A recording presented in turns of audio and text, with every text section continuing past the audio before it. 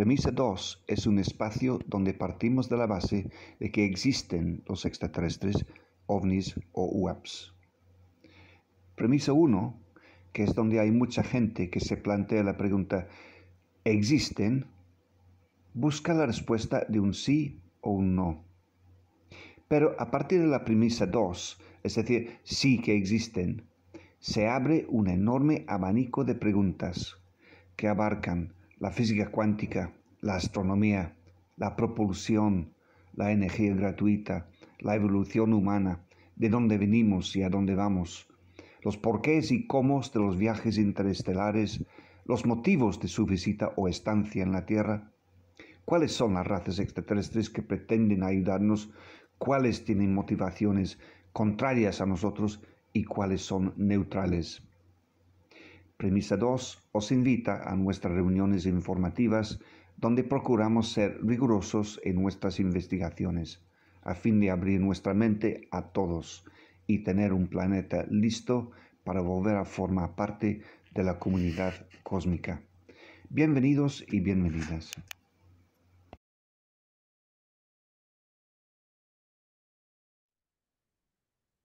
Ahora graba. Hola, buenas, aquí estamos eh, una vez más en Premisa 2. Hoy vamos a hablar de, del tema del Caballero Negro. Em, hay bastante información dudosa, hay más información dudosa que fiable.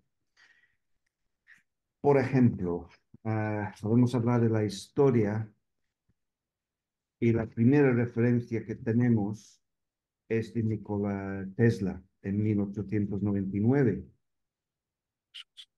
Eh, y él recibió un mensaje por radio um, y solo abrevió. Se dice que en 1899 Nikola Tesla captó una señal de radio repetida que creyó que procedía del espacio y lo dijo públicamente en una conferencia.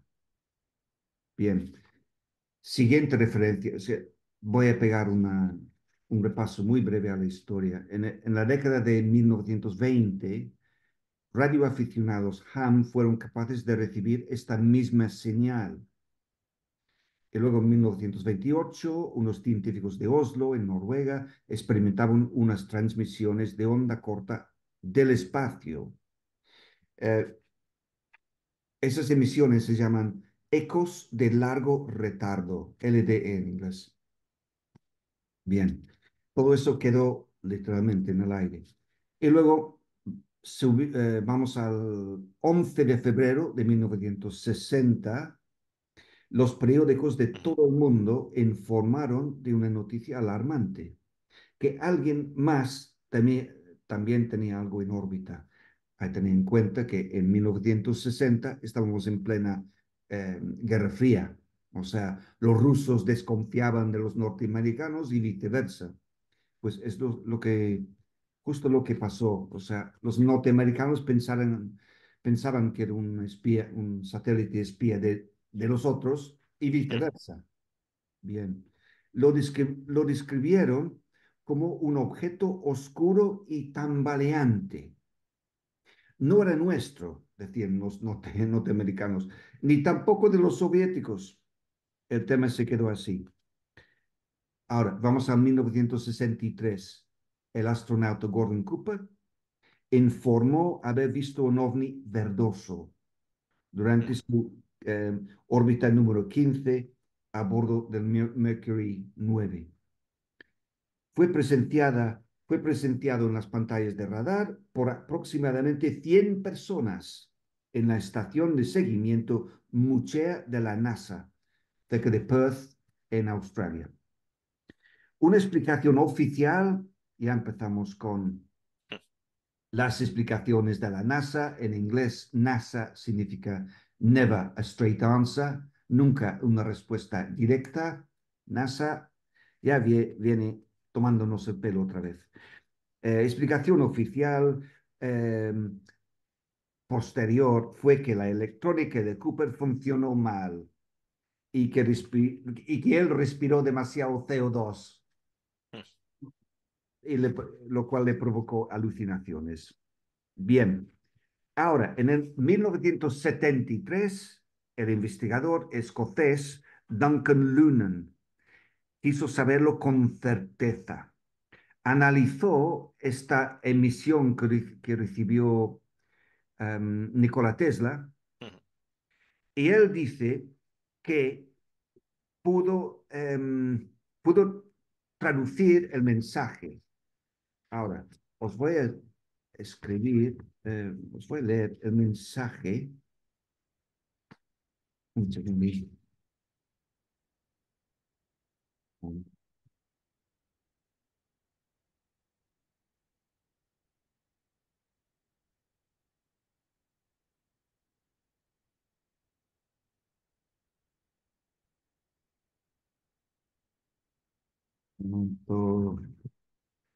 Aquí está. Vale, el mensaje interpretado por este Lunan. Hay que tener en cuenta que Duncan Lunan, aparte de ser astrónomo muy interesado, investigaba temas astronómicos, también era escritor de ciencia ficción, lo cual le pone en tela de duda porque igual imaginó esta traducción. Y bueno, la traducción dice, empieza aquí, nuestro hogar es Epsilon Bootes, B-O-O-T-E-S, Epsilon Bootes, que es una estrella, estrella doble. Vivimos en el sexto planeta de siete. Compruébelo. Sexto de siete. Contando hacia afuera desde el Sol, que es el mayor de los dos, nuestro sexto planeta tiene una luna. Nuestro cuarto planeta tiene tres. Nuestro primer y tercer planeta tienen uno cada uno. Nuestra sonda, ahora es lo interesante, si es cierto, nuestra sonda está en la órbita de su luna, de nuestra luna. Esto actualiza la posición de Arcturus que aparece en nuestros mapas. Punto. Vale. Um, opiniones que encontré por internet sobre esta traducción o supuesta traducción de Duncan Lunan. Uno, hay que tener en cuenta que es eh, escritor de ciencia ficción, o sea, tiene mucha imaginación, lo cual le pone en tela de duda. Otra idea, otra opinión. El profesor Lunan interpretó mal el gráfico y sus extrapolaciones son más bien especulativas. Y otra opinión, claro, como el mensaje menciona Arcturus, y sabemos dónde está, está en los mapas, y Epsilon Bootes también está en los mapas que tenemos. Em, una civilización avanzada en las proximidades de Arcturus, paréntesis, Oculea, H-O-K-U-L-E-A, la estrella guía de la mitología hawaiana, y creo que John quiere decir algo sobre eso. Termino. Envió una sonda satélite no tripulada para vigilar la Tierra hace 15.000 años, para ser activada por ondas de radio cuando los humanos alcanzaran ese punto tecnológico en su evolución. Ah, bien. Em, y luego, un día de estos, um, Premisa 2 va a tener una página web o algún sitio donde almacenar toda la información, pero yo, yo tengo todo documentado con enlaces eh, por eh, vídeo, eh, todo documentado. ¿Querías comentar algo sobre la conexión hawaiana en este tema del caballero negro, John? Bueno, me hace gracia el hecho de que utilicen nombres hawaianos, ¿no? Nombres de dioses hawaianos.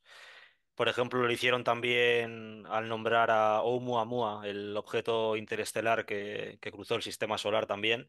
Me llama la atención que, que utilicen la mitología hawaiana cuando no es una de las mitologías más conocidas o de las que más se habla, ¿no? Eh, de hecho, bueno, ya vemos que los planetas de nuestro sistema solar tienen todos nombres de, de dioses de mitología eh, griega. Entonces, bueno, me llama la atención ¿no? el hecho de que utilicen una vez más eh, un nombre de la mitología hawaiana. Simplemente una apreciación, nada. Ya. Ahora, mientras hablamos, aquí está, quizá, creo que es la mejor foto que hay Bien, voy a seguir un poco más con la historia. Vamos a ponernos más al día, porque ahora vamos al año 1998, eh, cuando hubo un incidente a bordo del vuelo STS-88 del Endeavour. Eh, y esta- hay dos sorprendentes fotografías, a esta y otra que está aquí. Ya se ve, ¿no? Vale, esta es desde el Endeavour, esta foto, y la otra no estoy seguro. Bien, ¿qué pasó ahí? Em, ya lo voy a leer. Eh, hay, em, el transbordador siempre, siempre voló en una órbita semi-ecuatorial, al igual que la Estación Espacial Internacional. Sin embargo, siempre decían y dicen que el Caballero Negro tiene una órbita polar. ujú, Mm. Entonces, ahí tenemos otra, mm,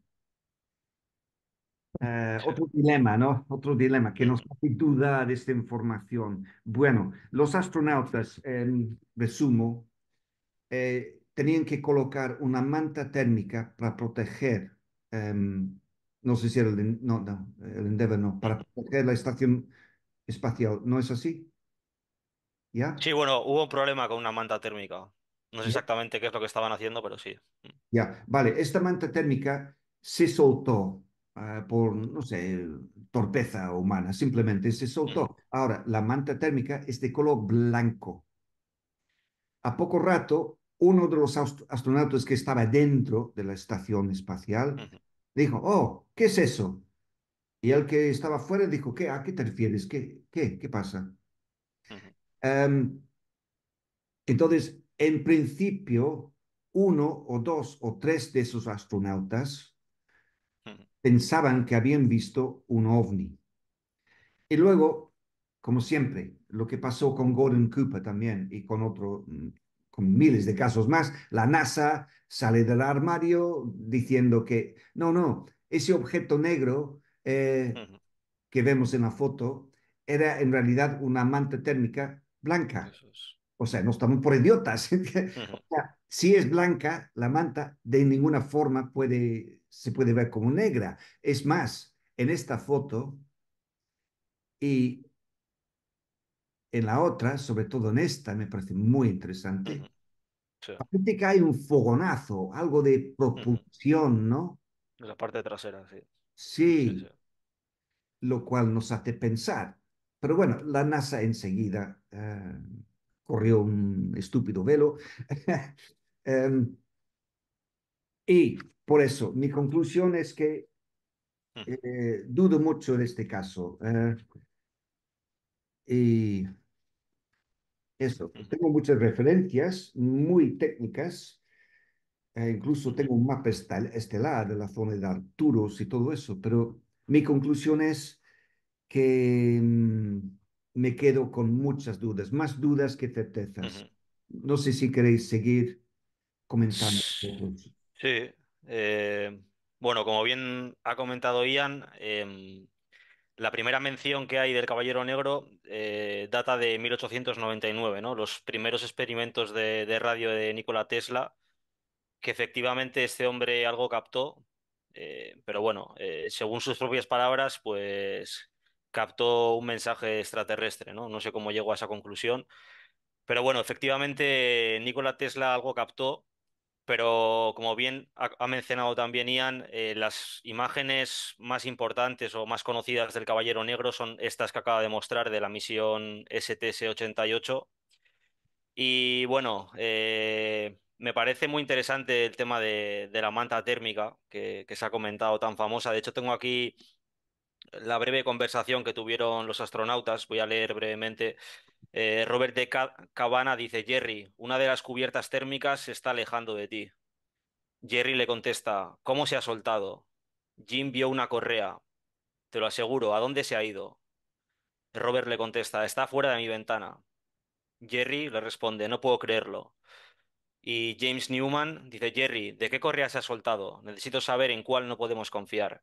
O sea que efectivamente durante la misión STS-88 eh, parece ser que se escapó una manta térmica. Eso parece ser que sí que es real. Lo que yo tengo ya más dudas es que estas imágenes que se han visto, que, que ha mostrado Ian, sean efectivamente esa, esa manta térmica, ¿no? Eh, por el color, el tamaño, la forma, a mí no me cuadra, la verdad, eh, no me cuadra. Tengo por aquí un par de vídeos que son bastante cortos, duran creo que dos, tres minutos. Me gustaría verlos, si no os importa. Eh, son sobre esta misión, la STS-88, y bueno, es precisamente el momento ese de los astronautas con, con la manta térmica, ¿no? Eh, si os parece, voy a compartir en un momento. Vamos a ver, genial. compartir pantalla. Bien, Vale, va, sí. ¿Puedes llenar la pantalla con el vídeo? sí, Ya. vale. Ajá, ahí está la manta térmica, ¿no? Bueno, no tiene mucha calidad, pero bueno, ahí está. Ahí están con, montando la manta térmica, vamos. Ya.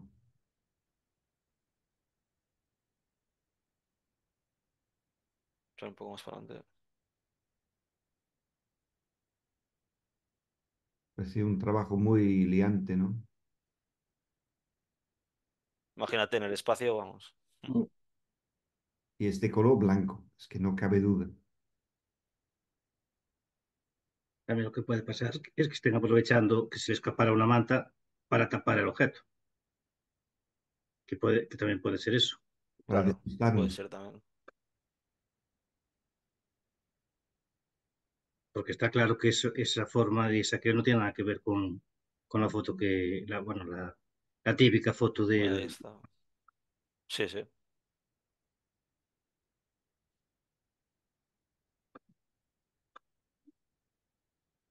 Pues, Según sus movimientos es fácil dejar caer, bueno, caer, soltar una manta, ¿no? Parece muy engorroso ese trabajo, ¿no?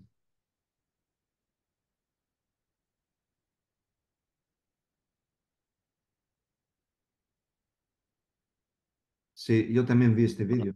Y Sí, tampoco, tampoco vamos a verlo todo, pero ya, yo me quedé con eso de la órbita. O sea, esta es una órbita, ¿cómo era?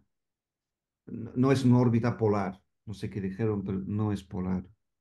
No, es órbitas. Ujú. Y bueno, eh, tengo por aquí algo más de información, así, pero bueno, eh, mi opinión acerca del tema es que, bueno, eh, hay muchos objetos que, están orbitando la Tierra, eh, desde basura espacial, por no hablar de todos los satélites que tenemos, eh, bueno, ¿por qué no quizá naves también, ¿no? Y bueno, eso puede ser sinceramente cualquier cosa, ¿no? Eh, las imágenes de, de esta misión que, que hemos comentado, ¿no? Pero bueno, por, por dar unos datos más, os voy a leer unos cuantos, unos cuantos datos. Eh, en febrero de 1960, Estados Unidos detectó un objeto no identificado colocado en órbita polar cuando ni Estados Unidos ni los rusos podían hacerlo en esa época. En 1963, el astronauta Gordon Cooper, vale, esto ya lo ha comentado Ian, esto vamos a saltarlo. El astronauta Yuri Gagarin también reportó haber visto un objeto cerca de su nave. Ah, sí. En, fe- en febrero de 1960, astrónomos de todo el mundo seguían la trayectoria del Sputnik cuando de pronto detectaron un objeto que estaba pasando cerca del Sputnik y se consideró que el objeto era tan grande que no había podido ser lanzado con los cohetes de la época. Mm, Y el último, el 7 de marzo de 1960, la revista Time publicó un artículo reportando que el nuevo sistema de radar de Estados Unidos, que posteriormente pasaría a ser parte del NORA, había detectado un objeto extraño en el cielo que había sido identificado con un pedazo de un satélite fallido norteamericano, siendo esta la explicación oficial. mm. Bueno, eh, lo que he comentado, ¿no? Eh, alrededor de nuestro planeta hay muchísimos objetos orbitando, muchísimos, y nadie puede descartar el hecho de que pudiera existir una nave, eh, una nave satélite, ¿no? Que estuviera orbitando y quién sabe si espiándonos, ¿no? La verdad que es bueno, una, una posibilidad. Y bueno, por terminar ya mi aportación, eh, quiero mostrar un vídeo muy breve también de un par de minutos. En este caso es de Secure Team, eh, un, bueno, un canal de YouTube bastante conocido, eh, suele mostrar muchísimos avistamientos, pero en mi opinión, he de decir que no sé si fiarme mucho de, esta fuente de Secure Team, ¿vale? Por vídeos que he visto y comentarios. Pero voy a compartir pantalla otra vez y voy a mostrar un vídeo de este supuesto caballero negro. Vale.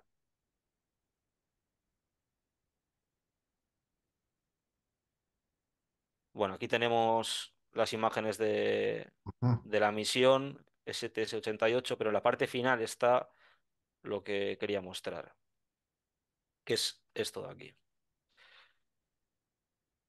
Me llama la atención eh, la forma de, este objeto, ¿no? Me recuerda bastante a la famosa fotografía de la que hemos estado hablando.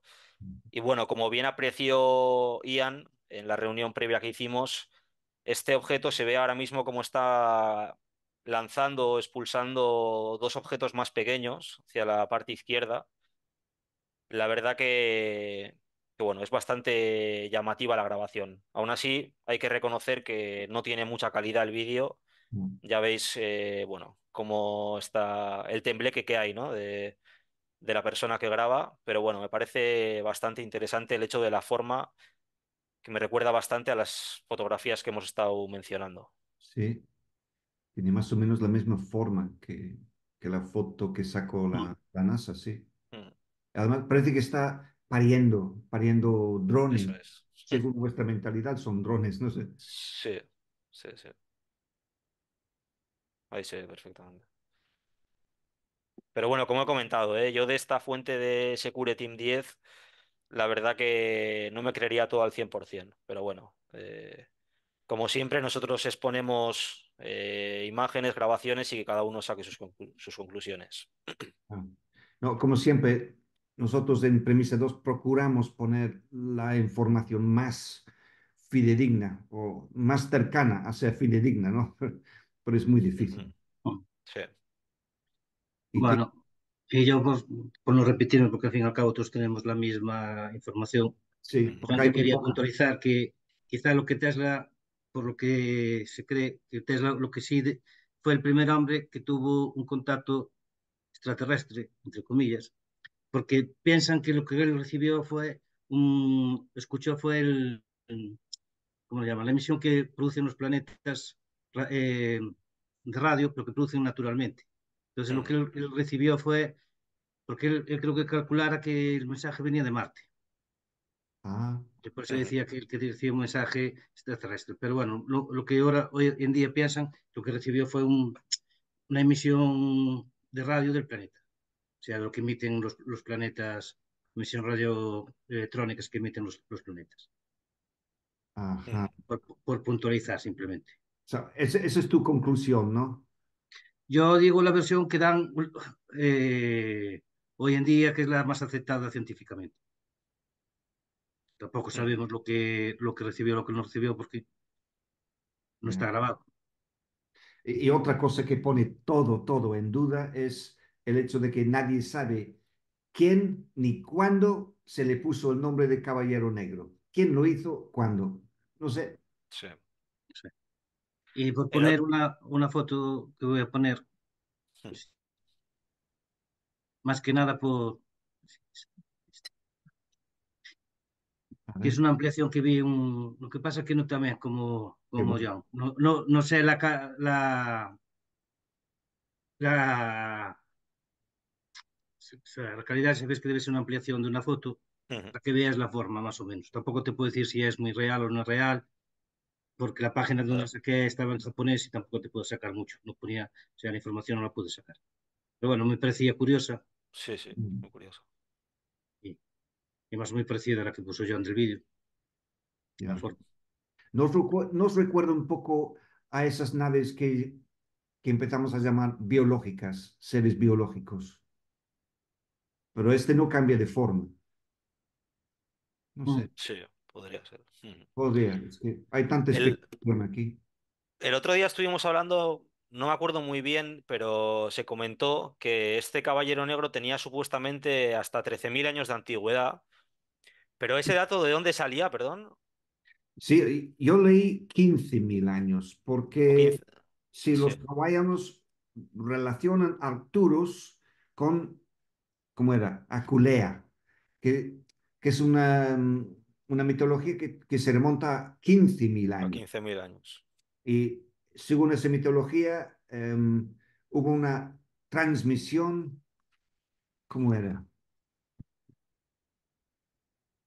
Sí, es que ellos dicen 15.000 y ya sé que en la poca información que encontramos los tres, habla Mm, de Sí. 13.000. Ya.